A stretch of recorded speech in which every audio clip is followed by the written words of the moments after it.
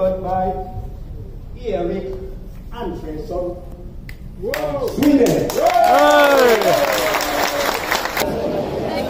Thank you, Lisanne. It's a pleasure having you here, and congratulations.